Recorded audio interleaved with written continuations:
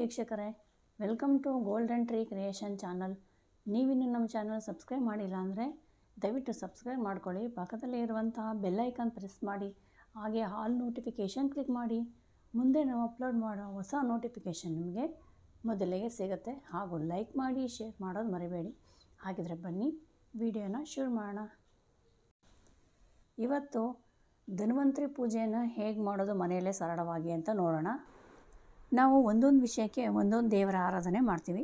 ಹಾಗೆ ಆಯಸ್ಸು, ಆರೋಗ್ಯ ವಿಷಯಕ್ಕೆ ಬಂದರೆ ಧನ್ವಂತರಿ ಭಗವಾನ್ ಶ್ರೀ ವಿಷ್ಣು ಅಂತ ಹೇಳ್ತೀವಿ. ಈ ಧನ್ವಂತರಿ ಪೂಜೆನ ಮಾಡೋದು ತುಂಬ ಅವಶ್ಯಕ.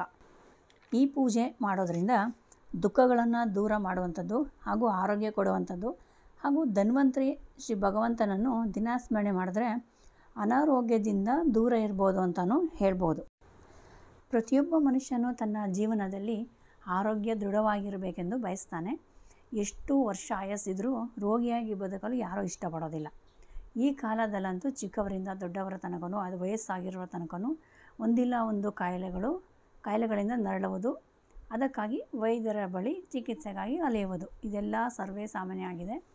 ಇಂದು ನಮ್ಮಿಂದ ಆರಾಧಿಸಲ್ಪಡುವ ಕೋಟ್ಯಾಂತರ ದೇವತೆಗಳ ಪೈಕಿ ರೋಗ ಪರಿಹಾರ ದೇವನೆಂದೇ ಪೂಜ್ಯನಾದ ಶ್ರೀ ಮಹಾನ್ ವಿಷ್ಣುವಿನ ಸ್ವರೂಪ, ಶ್ರೀ ಧನ್ವಂತರಿ ದೇವನ ಆರಾಧನೆ ಬಹುಕಾಲದಿಂದಲೂ ರೂಢಿಯಲ್ಲಿದೆ. ಹಾಗಾಗಿ ಧನ್ವಂತರಿ ಪೂಜೆಯನ್ನು ಮಾಡಿ ನಾವೆಲ್ಲರೂ ಆರೋಗ್ಯವನ್ನು ಪಡೆದುಕೊಳ್ಳೋಣ. ಹಾಗಿದ್ರೆ ಬನ್ನಿ ಈ ಪೂಜೆನ ಹೇಗೆ ಮಾಡೋದು ಅಂತ ನೋಡೋಣ. ಶ್ರೀ ವಿಷ್ಣುವು ಭೂಲೋಕಕ್ಕೆ ತಂದಂತಹ ಅಮೃತ, ಆರೋಗ್ಯ ಅಮೃತ ಅಮೃತ ಕಳಸದಿಂದ ಆರೋಗ್ಯವನ್ನು ದಯಪಾಲಿಸುತ್ತಾನೆ.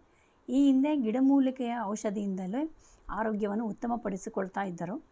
ಅವರನ್ನು ಪಂಡಿತರು, ರಾಜ್ಯ ವೈದ್ಯರು, ನಾಟಿ ವೈದ್ಯರು ಅಂತಲೂ ಕರಿತಾಯಿದ್ರು ನಮ್ಮ ನೈಸರ್ಗಿಕವು ಅಪಾರವಾದಂತಹ ಗಿಡಮೂಲಿಕೆಯನ್ನು ಹೊಂದಿದೆ. ಅದನ್ನು ಇಂದು ನಾವು ಪತ್ತೆ ಹಚ್ಚಲು ಅವಶ್ಯಕ್ತರಾಗಿದ್ದೇವೆ ಅಲೋಪತಿ ಔಷಧಿಯು ಕೇವಲ ರೋಗವನ್ನು ತಡೆಯುತ್ತದೆ, ಆದರೆ ವಾಸಿ ಮಾಡೋದಿಲ್ಲ. ಇದರಲ್ಲಿ ಅನಾನುಕೂಲಗಳೇ ಹೆಚ್ಚು. ಯಾವುದೇ ಆಸ್ಪತ್ರೆಗೆ ಹೋದರೂ ಇಂದು ಪರೀಕ್ಷೆ ಮಾಡುವ ಮುಖಾಂತರ ಕಾಯಿಲೆ ಗುರುತಿಸಿ ಔಷಧಿ ನೀಡುತ್ತಾರೆ. ಈ ಹಿಂದೆ ನಾಡಿ, ಕಣ್ಣು, ಚರ್ಮ, ಹೃದಯ ಬಡಿತವನ್ನು ಕಂಡುಕೊಂಡು ಯಾವುದೇ ಪರೀಕ್ಷೆ ಇಲ್ಲದೆ ಔಷಧಿ ನೀಡ್ತಾ ಇದ್ದರು ಇಂದಿಗೂ ಆಯುರ್ವೇದ ಔಷಧಿಗೆ ಸಂಪೂರ್ಣ ಗುಣಪಡಿಸುವ ಶಕ್ತಿ ಇದೆ ಅಂತ ಈ ವಿಶೇಷ ದಿನದಲ್ಲಿ ನಾವು ಆರೋಗ್ಯ ದೇವತೆ ಶ್ರೀ ಧನ್ವಂತರಿಯ ಪೂಜಿಸಿದರೆ ಸರ್ವ ರೋಗದಿಂದ ಮುಕ್ತರಾಗಬಹುದು. ರೋಗಮುಕ್ತವಾದ ಜೀವನವನ್ನು ನಡೆಸಬಹುದು. ಇದಕ್ಕೆ ಈ ಒಂದು ವಿಶೇಷವಾದ ಧನ್ವಂತರಿ ಜಯಂತಿ ಎಂದು ಪೂಜಿಸಿದರೆ ಆರೋಗ್ಯ ಪಡೆಯಲು ತುಂಬ ಒಳ್ಳೆಯ ದಿವಸ ಅಂತ ಹೇಳ್ಬೋದು. ಅಂದು ಮನೆಯಲ್ಲಿ ಧನ್ವಂತರಿ ಫೋಟೋ ಇಟ್ಟು ನಾವು ಶ್ರೀಮಾನ್ ನಾರಾಯಣನಿಗೆ ಪುಷ್ಪಾರ್ಚನೆ ಮಾಡಿದ್ದೆ. ಆದಲ್ಲಿ ಈ ಮಂತ್ರದಿಂದ ಓಂ ನಮೋ ಭಗವತೆ ಧನ್ವಂತರಿ ಮಹಾವಿಷ್ಣುವೇ ನಮಃ ಅಂತ ನೂರ ಎಂಟು ಬಾರಿ ಅಥವಾ ಸಾವಿರದ ಎಂಟು ಬಾರಿ ಹೇಳಿ ಜಪಿಸಿದ್ದೆ. ಆದಲ್ಲಿ ಖಂಡಿತ ನಾವು ಹಾಗೂ ನಮ್ಮ ಕುಟುಂಬದವರು ಆರೋಗ್ಯವಂತರಾಗಿ ಇರಲು ದೈವ ಪ್ರಾರ್ಥನೆ ನಮ್ಮ ರಕ್ಷಾ ಕವಚವಾಗಿ ಕಾಪಾಡಲಿದೆ. ಅಂದು ನೈವೇದ್ಯ ಅಂತ ಹೇಳೋದಾದರೆ ಜೇನುತುಪ್ಪವನ್ನು ಮಾಡಬೇಕು ನೈವೇದ್ಯಕ್ಕೆ. ಹಾಗೂ ನಂತರ ಪ್ರಸಾದ ರೂಪದಲ್ಲಿ ನಿತ್ಯ ಸ್ವಲ್ಪ ಸ್ವಲ್ಪ ಸ್ವೀಕರಿಸ್ತಾ ಬಂದರೆ ಖಂಡಿತ ರೋಗಮುಕ್ತರಾಗಿ ಜೀವನ ನಡೆಸಬಹುದು. ಇಂದಿಗೂ ಪುಷ್ಯ ನಕ್ಷತ್ರದಲ್ಲಿ ಮಕ್ಕಳಿಗೆ ಸ್ವರ್ಣಪ್ರಾಶನ ನೀಡುವಾಗ ಜೇನುತುಪ್ಪದಲ್ಲಿ ನೀಡುವಂಥದ್ದು. ಜೇನುತುಪ್ಪಕ್ಕೆ ಅಷ್ಟು ಮಹತ್ವವಿದೆ.